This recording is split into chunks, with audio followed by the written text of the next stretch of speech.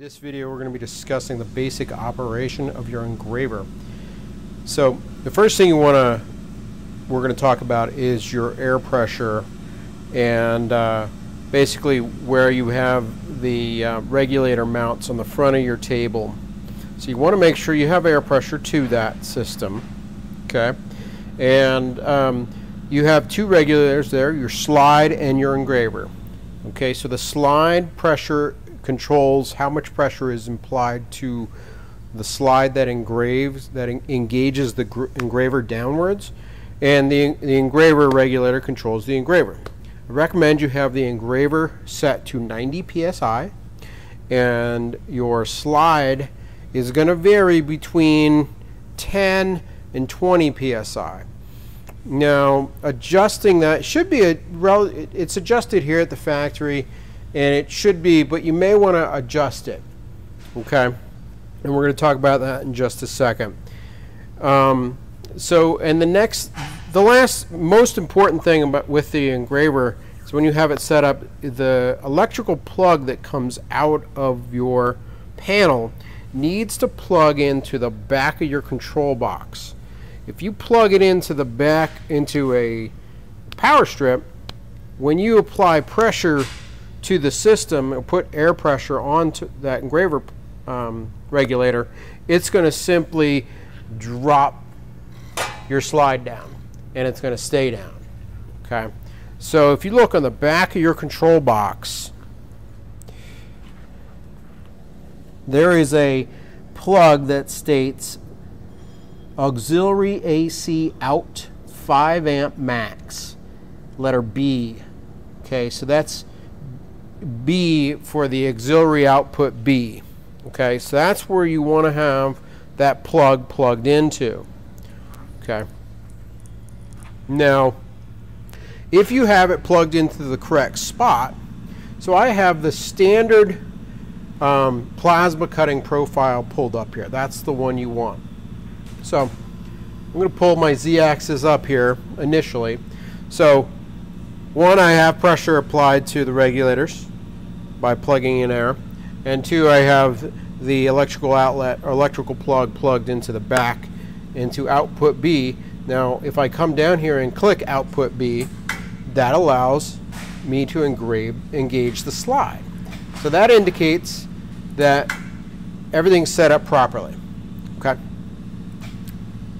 So now, the pressure at which you set the slide engraver will control how fast this engraver descends.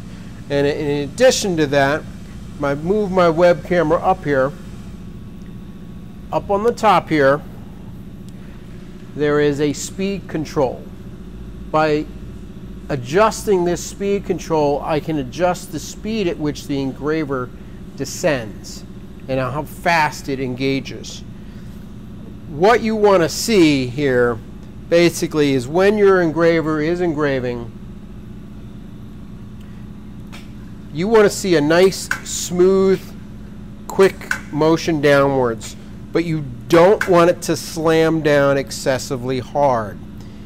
If you set the pressure on your slide too high, it will damage the back of this. So that's why I say nothing over 20 psi at the max. I think right now we have ours set to right at about 15 or so. Okay, so be careful with how much pressure you allow to go to that slide. Okay. So the, the next thing I want to talk about is turning on the engraver itself. So I'm going to engage the slide so you can see the engraver. You turn on the engraver by twisting this black ring here. Okay, so now if I twist it, you can hear it ramps the pressure up lower or faster.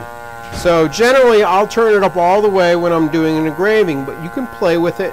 You'll get different looks to your lines by having it um, higher or lower. Okay, so um, now the engraver is quite loud. I recommend you have hearing protection anytime you're using it. Okay. So let me turn that off here real quick. Now, a quick caveat, your air, your engraver requires oil. So up on the top, you have an oiler. It's very important to have oil in that system, okay? And it's adjustable. You want to see about, when the engraver's running, if you turn it on full, you're going to see about maybe one to two drips per minute, really, is what the flow rate you want, okay? And so it's not very much. It doesn't take a lot of oil, but it is important that you have oil. Now, if you're you haven't used your engraver for a long time, you may be in a situation where um, the engraver's just dried out and it doesn't want to start. When you turn it on, you'll hear the hissing, but it, you don't hear the vibration. Okay? So, in that case, two things you can do. One, you can if you look at the top where the uh, air hose comes into your engraver, there's a little black ring. If you pull down on this black ring, plastic ring, and pull up on the tube, they'll pull apart. It's a quick release. When you have the air hose pulled out, now of course do that with the air pressure off. You don't want to do that with the pressure to the system, okay? You can drip some air tool oil inside your engraver to get it lubricated, okay? put your hose back in. Now, the easiest way to do this is to simply drop your torch down closer to the plate. Make sure your engraver's on. As you can see, it's... And what you can do is simply tap it on the steel. And by tapping it on the steel, it'll often break it loose and get things flowing and so that your engraver starts to run properly. Okay? so we've checked the air pressure, got it right. Our engraver runs. We have the engraver system plugged in properly so that our uh, output B operates it. So now we know everything's set up correctly to use your engraver. Okay. So now I want to talk a little bit about just doing a straight engraving um, without doing any kind of uh, uh, cutting. Okay, so to do that, we're just going to do a little bit of text for starters. Okay, I'm going to come in here, and so you can do text multiple ways. Okay, um, I have QCAD pulled up here. You can do text in uh, Inkscape, um, and uh, but I'm going to do it in and QCAD, because this is a, a, nice advantage of QCAD over a lot of 2D CADs, you could do text in them. Many CAD programs won't allow you to do text properly. Okay, so I can just click on my text box here, and I can come in here and pick, you know, whatever uh, font I want, essentially.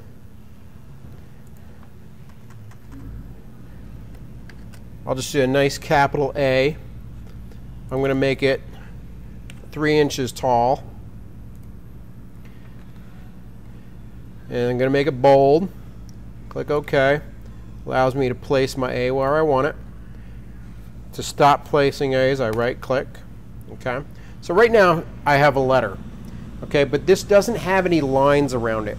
So if I were to save this right now as a DXF, my DXF will be empty because it's not broken out into lines yet. So the first thing you need to remember once you create lettering in QCAD is you have to select it by using your select tool, then go up to modify, then go down to explode.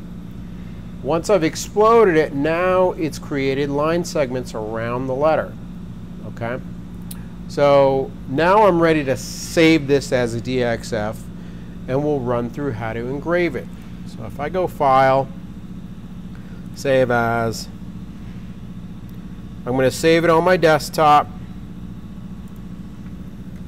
I'm going to save it as letter A. Okay. So now we'll go back to Command CNC. I can close out of QCAD. So now I'm going to go into SheetCam. I'm going to open up SheetCam, closed out QCAD.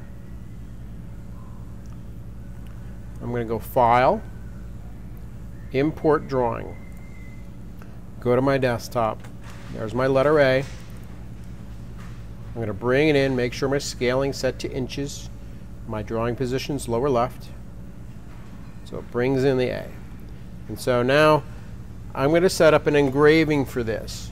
So the way I'm going to do that is I'm going to go down to, it can either do here, create new jet cutting operation, or under operation, and go plasma cut, either way. And when I do this, I'm going to set up, first thing I'm going to set up is my offset. Because I'm doing an engraving on this, I don't want an offset. I want it to engrave directly on this line. Okay, so what I'm going to do is go no offset. Now, my layer is going to be my zero layer, which I have over here. The tool, I'm not going to pick a plasma tool. If I go all the way to the bottom, I'm going to have a plate marking tool. Click on that plate marking tool. Okay. So if I use this one, if I just for uh, to look at this tool, if I click on these three little dots here in this box, it opens up the tool profile and it shows that it is an a plate marking type tool. And my diameter set very small, my feed rate set 50 inches a minute. You can change that if you want. Cut height set to zero. Start delay is about half a second, which I find is a good delay for it to actually do the slide and then starting before it starts motion. So, um, but if you change the speed on your slide, you may need to change this delay. Feed rate, 50 inches a minute seems to work well. If you speed this up, you will get a different type of line, different look. You can play with that if you want. I'm just going to click OK to close out of this. Okay. And so now, lastly, we're going to make sure we don't have any lead-ins. Now, since I'm doing a no offset, it would normally have no lead-ins anyway. So I click OK. Okay, so unless I have offset on our lead-ins on open pass, um, it's not going to give me an offset. So I have lead in set to none, lead out set to none. I click OK. It shows me I'm going to engrave the center of the A and then the outside of the A. Okay, so that looks good. I'm going to go run post processor. And I'm going to save it on my desktop, letter A, NGC. Click Save. Click OK. And so now I'm going to minimize sheet cam pull up my command CNC. And C. Now I'm going to go open, letter A, NGC. All right, so now my letter A is pulled up. Let me pull up my webcam. So basically, the system. So since I just pulled this up, the first thing I'm going to do as always, is reference my table. I have not referenced my table since I powered this system up. So first I'm going to go, I'm going to scroll, jog close to my home switches and go home X, home Y. And then go 0x, 0y. I'm going to jog over a piece of plate and I'm going to home my Z and I go 0, Z. Okay, so now my machine 0 has been set. So first off, I'm going to do my engraving for this letter. We're just going to do it right here. And now my zero point for my engraving is going to be where my torch is. So that's where the corner of my A is going to be, is right there. So I'm going to set zeroing my X, Y, and Z. Okay. So I'm going to pull my torch up. First step, of course, I, I have to turn on my engraver. Now, I'm not going to be doing any plasma cutting, so I don't have to worry about the plasma at this point. But I just have to make sure I have the correct pressure to my engraver and my engraver's running. And of course, make sure everything else is set up right. There's nothing on the rails. I do recommend that you wear ear protection when you're doing this. Now, with this small piece of plate, I'm going to have to hold it down to prevent it from moving. Okay, the engraver will make your plate move all over the place. Okay, unless it's really heavy. So it works well with large sheets. You can put a large sheet on here. Um, you know, but if it's a thin material, still may need to hold it down. Okay, so you have to be aware of that. Okay, but particularly with this small piece, I'm going to have to hold it down. And it, you want to hold it down pretty firmly because it, once it starts vibrating, it really wants to move around on you. Okay, so first step, make sure your engraver's on. So I got that puppy at full blast. Should be ready to go.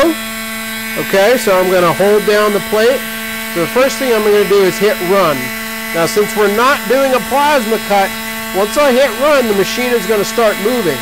It will not, as you normally have seen, wait for you to hit resume because we don't have to wait to check the voltage. Okay? So, I'm going to hit run and hold down the plate.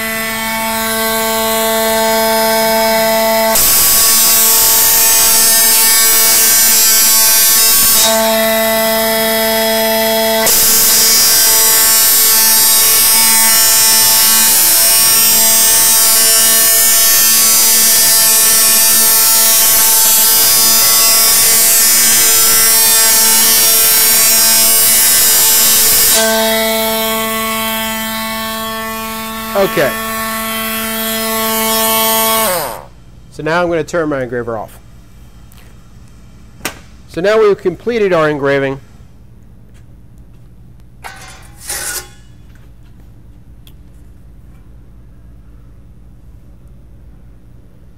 And that gives you a good idea of what you're looking at. Okay? So that is doing a straight engraving. Next, we're going to be talking about how to combine engraving, and plasma cutting. Okay? So to do that, we're going to go back into sheet cam. Okay? And you can follow along with this. I'm going to minimize my camera here to get that out of the way. I'm going to go File, New Job. I'm not going to save my changes. I'm going to go File, import drawing, and I'm on your desktop you have a test file folder, or at least you did when you got your table. Okay? In that test files, we have the files we use to test your plasma. And one of them will be this wire mount. Okay? If you click on that, make sure your scaling set to inches, lower left, click OK. It's going to bring in this file. So now what I want to do with this setup is we're going to, I'm going to show you how to set it up so you can engrave these interior cuts just like you would if you say had some lettering. So let's say for example we want to engrave these interior cuts. We want these circles and this open line to be engraved. And then we're going to cut this circle, this circle, and the perimeters. Okay? So the way we do this is by setting up multiple layers. So right now everything's on one layer, the default layer. If I were to create an engraving operation using this layer, it would engrave everything. Okay, I don't want that. So what I want is to go up to here, you're going to see edit contours, or you can click on mode, and we'll also take you to edit contours. Once you're in the edit contours mode, Okay, the easiest way is to simply drag a box around what you want. And anything that's fully inside that will be selected. Okay? You can also hold down the control button and then click on the different parts. Okay?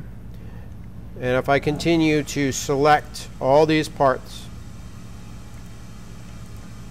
that I want, it'll, you know, it'll give them all to me. So I'll just draw a box, it's easier. They're all selected.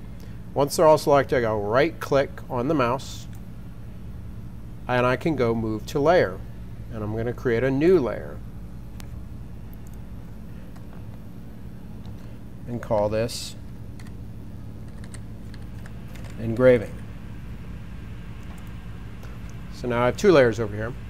It has turned these red, as you can see.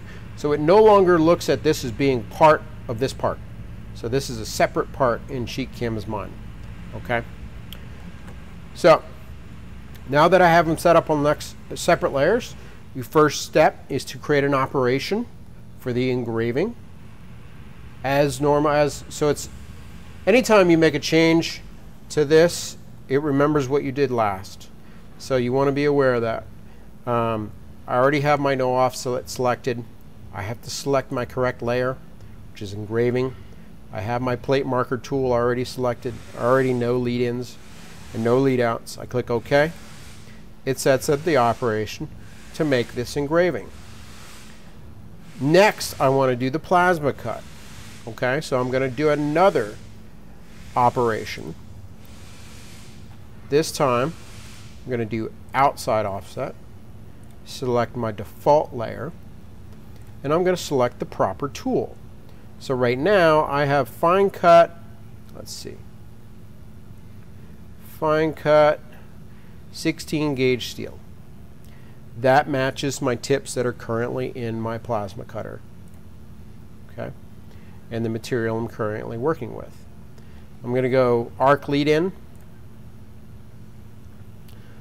and everything looks good. I'm going to click OK and it creates my operation for the plasma cut. So now with that set up I can post process. I go post process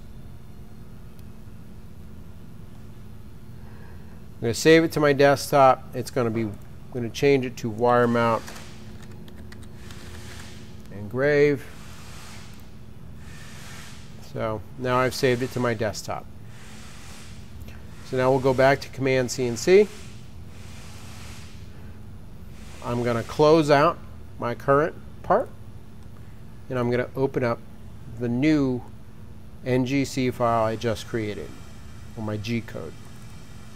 Double click on that, pulls it up.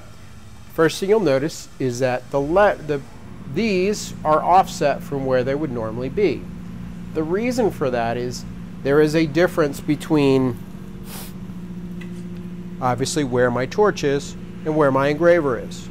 Okay, so that offset that you're seeing in the display is showing the offset the machine is going to do when it does this cut. Okay. So one important thing you really want to keep in mind is that there is a predetermined offset between, there's a distance between here and here that is calculated in an XY offset. And that's built in, it's written into the post processor. And from the factory, we set it up properly so it has, it will offset the correct distance so that when you make a engraving and then do a plasma cut around it, it will put your engraving in the right spot relative to where the torch cuts. Okay, so our little circles and uh, will be in the right spot on our part. Now, if you have changed the position of this torch, you've either tilted it for whatever reason or adjusted it, or you've had, for the instance, a significant situation where you've crashed the torch and it may have adjusted it inadvertently, you have to be aware of that. And you may need to redo the offset between the tip of your engraver and your torch in order to get it set up correctly. Okay? So, you really want to keep that in mind. We're not going to cover that. That's covered in a separate video. Okay. So, but I know that this engraver um, offset is currently set up correctly.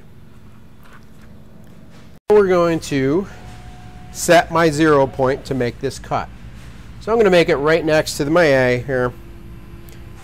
I'm going to say, so this is going to be the zero point for my cut right here, where my torch is. I'm going to zero out my X, Y, and Z.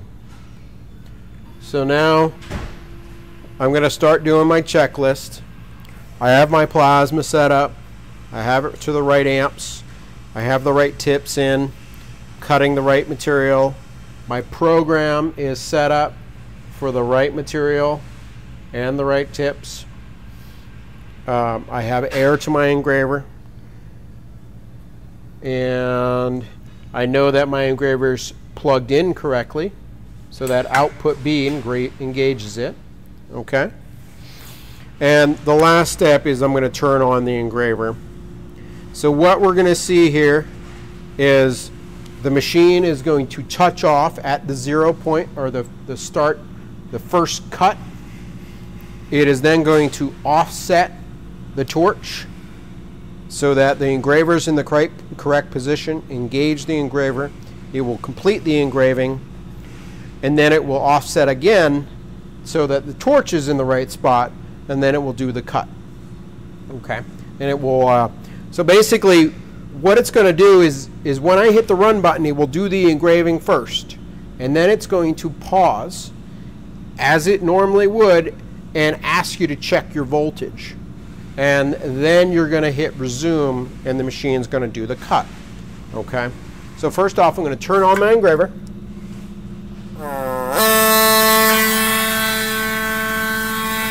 Of course, remembering I'm going to have to hold this plate down when I do this. Okay? So for starters, I'm going to hit run. The machine's going to do the engraving.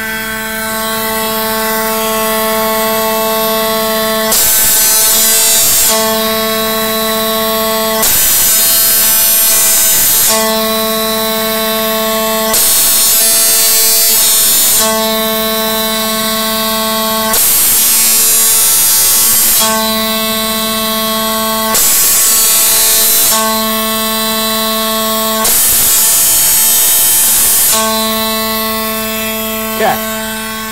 So, uh, be careful to not move the plate. So now it's going to ask me to resume. So I'm just going to click on resume, and it's going to do the plasma cut.